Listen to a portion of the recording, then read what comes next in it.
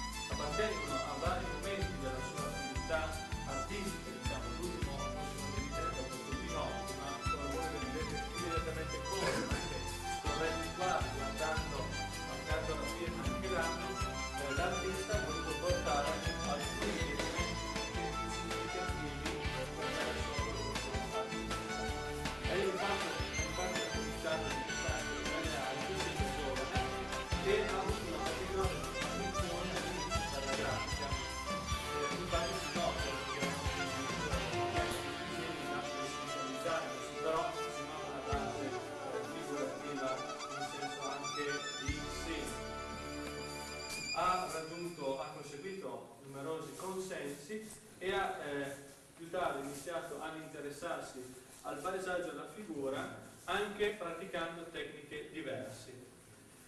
Le sue opere sono presenti in numerose collezioni private ed enti pubblici e eh, diciamo che anche scorrendo le pagine del suo sito ritroviamo pienamente questo tipo di produzione. C'è una produzione che spazia dalla figura alla natura morta, dalla grafica al surrealismo, dalla fauna alle opere di grandi dimensioni. Queste due opere Naturalmente abbiamo un'evoluzione nelle stesse, perché se in questa opera, che è datata 86, abbiamo un'attenzione più figurale, cioè sul dettaglio, se volete, anche sulla disposizione, e eh, comunque un'attenzione planimetrica, vedete che piano piano cominciano a inserirsi queste figure, cioè queste linee, scusate, geometrizzanti, piano piano dovete inserire, le quali linee diventeranno come vedete in quest'opera del 2004, il centro e il fulcro attorno a cui ruota la produzione. Nell'altra opera, invece, il discorso, vedete, è accennato, ma questa, questo tipo di pittura è più, vedete, eh, espressionista, con queste tinte eh, che alternano gli scuri. Però il discorso delle luci e delle ombre è una costante nella componente creativa di questo artista. Bilanciare tutto questo cromatismo e addirittura quello di rendere questa pittura capace di eh, cambiare di intensità a seconda dell'ora del giorno in cui la osserviamo, della luce artificiale o naturale cui viene sottoposta. Perché? Perché naturalmente l'impasto cromatico consente a, eh, al soggetto di riflettere la luce in maniera particolare a seconda della necessità o dell'intensità della luce stessa.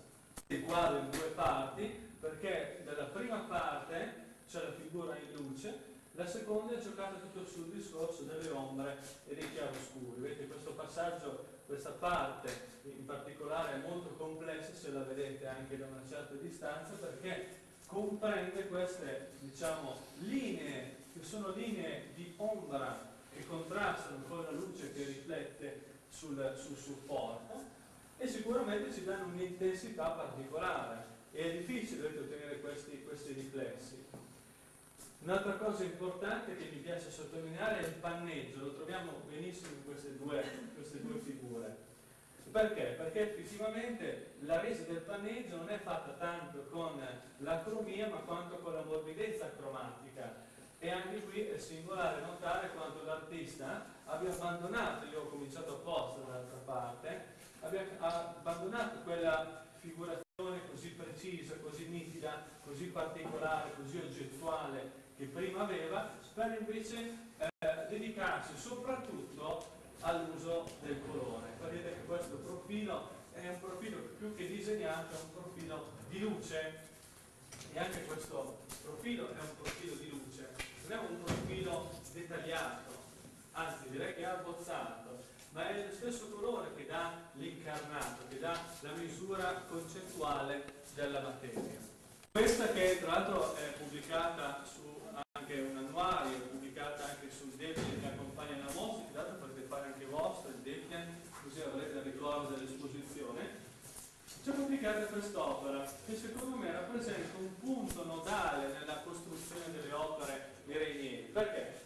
Perché sicuramente qua abbiamo tutto lo studio geometrico, lo studio luministico, vedete qui la geometria è molto accademica ma allo stesso tempo contrasta con la figura che è tutt'altro, c'è questo discorso del triangolismo espressivo, triangolismo significa proprio che eh, l'opera eh, viene, anzi la figura viene scomposta in triangoli, ogni triangolo eh, diventa un'unità tematica, cioè un'unità che poi fa eh, la figura stessa, e poi infatti la notate, questo discorso del triangolo che si va a comporre quasi fosse un puzzle, soltanto che la centralità di questa opera, che tra l'altro pur non avendo la maturità di altre opere, perché la geometria, vedete, come vi dicevo, è accademica, però è efficace, ecco, quest'opera però rivela l'originalità dell'artista, cioè questo dinamismo per cui la figura sì ferma in meditazione, ma possiede una vitalità, una realtà propria, una immaginazione propria e anche realizza in costituzione, in spazio scenico. Da ultimo, e veramente da ultimo, vorrei farvi osservare anche gli interni, come questo, e le composizioni di natura morta che hanno questa eh, capacità ecco, di riferirsi in maniera propria, se volete, anche al cubismo, questo in particolare, con la scomposizione ecco, della, eh, della figura, ma anche del piano su cui la figura stessa poggia, ma questa figurazione che è una natura morta sui generis, la vedete, si incastra sempre attraverso il discorso luministico. Un discorso luministico che troviamo anche negli interni, e tra l'altro questo interno si avvale anche una bella prospettiva che rende la composizione molto materiale. E eh, non vorrei ecco, insistere su particolari troppo tecnici, ma però vorrei farvi notare anche la morbidezza del panneggio che ritorna anche come componente costante all'interno di questo apparato creativo e rappresentativo. Quindi sicuramente è un'opera da notare per questo. Io penso